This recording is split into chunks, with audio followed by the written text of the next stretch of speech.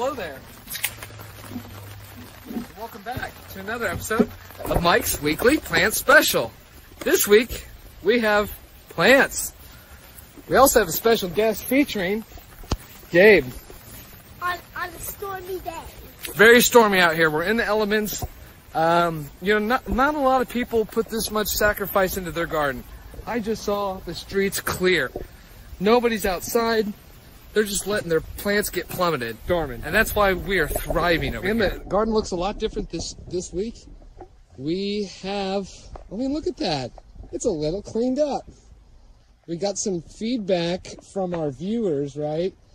And they thought we should tidy it up. You know, the feedback from our viewers is very important here. Look at this. This new guy. That's fun. Very fun. I built this with my bare hands. I thought mom found it on the curb of somebody's driveway. That's no. She told you that? Okay.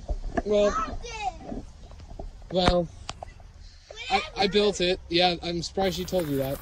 Hi, welcome back. We've had to take some cover here again. It's uh, just really, really good rain. We need it.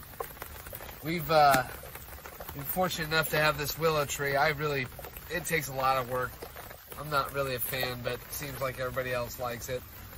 But I'm gonna ditch an umbrella, and we're gonna take a look at this. It's so unbelievable.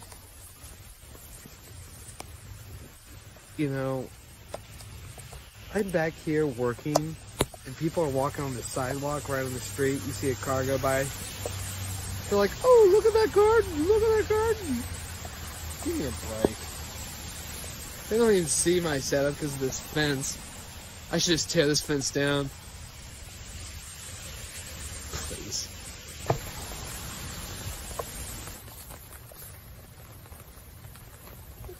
We'll see you next week. With the spinning umbrella. Bye.